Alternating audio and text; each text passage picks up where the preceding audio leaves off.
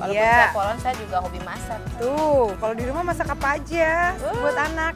Bisa masak pizza, capcay. Hai pemirsa, seru ya. Tadi kita sudah lihat pengendalian masak. Dan sekarang Ibu Ketut mau temenin saya masak. Boleh? Dan di belakang kita masih pada latihan ya Bu ya? ya. Ya, so no problem. Kita masak di temenin sama teman-teman yang lagi latihan. Ah, kita mau bikin muffin. Ya. Kalau bahasa Indonesianya muffin itu kue mangkuk. Kirain saya dimaafin. Bukan dimaafin, tapi muffin. Oke. Nah, ini kita mau bikin muffinnya tape dan keju. Tapenya tape singkong.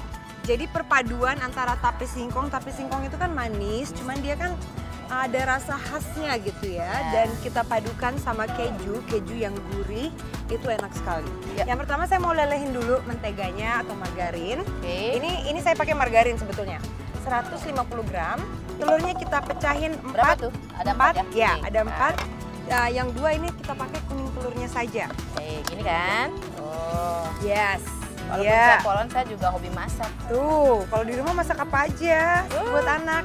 Bisa masak pizza, capcay. Oh, pizza, capcay, what a combination. yes. Wow. Oh, ini kalau dia udah mulai meleleh bisa dimatiin biar dia agak sedikit dingin. Ini masih ada yang yang apa? Masih ada bongkahannya, no Hmm, problem. Harus didaleh karena Iya, rata ya. karena karena sisanya kan udah panas nih ya. Jadi apinya saya matiin biar yang bongkahannya ini ikutan meleleh dan dia Oke. nanti bawa temperaturnya turun. Ya, jadi dia nggak terlalu panas. Eh, udah empat loh. Udah empat benar. Oke. Tinggal yang dua kuning telur, satu lagi di sini kuning telurnya. There we Oh. go. Kita tambahkan 150 gram gula pasir, pasir. seperti ini. Nah, sekarang Bukan baru gula di mixer. ya, gula pasir ya? Bukan, gula pasir. Baru boleh di mixer sekarang. Singkong, tape singkongnya 200 gram. Tape singkongnya mau saya hancurkan, mau saya tambahkan 2 sendok makan susu kental manis. Oh. Dia nice and creamy. Satu, dua.